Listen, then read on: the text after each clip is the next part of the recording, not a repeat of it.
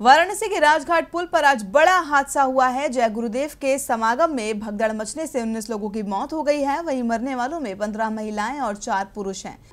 बताया जा रहा है कि रविवार को डुमरिया में जय गुरुदेव की गद्दी पर स्थापित बाबा पंकज दास का दो दिन का सत्संग समागम होना था। इसके लिए कई शहरों के लाखों अनुयायी वाराणसी पहुँचे थे। शनिवार सुबह से ही राजघाट पुल पर गुरुदेव के अनुयायियों का पैदल मार्च चल रहा था। इससे वहाँ ट्रैफ़िक पर रोक लगा दी गई, जिससे पूरे शहर में जाम लग गया। इस बीच अचानक पड़ाव के पास भगदड़ मच गई और इतना बड़ा हादसा हो गया। वही वाराणसी जोन के आईजी एस के भगत के मुताबिक यहाँ तीन हज़ार लोगों के पहुँचने को मंजूरी दी गई थी, लेकिन पचास हज़ार से ज़्यादा लोग यहाँ पहुँच गए, जिसके चलते ये हादसा हुआ है।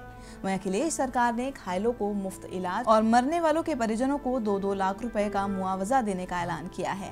तो वाराणसी में आज भगदड़ की वजह से बड़ा हादसा हो गया, जो प्रशासन की बड़ी लापरवाही को दिखाता है।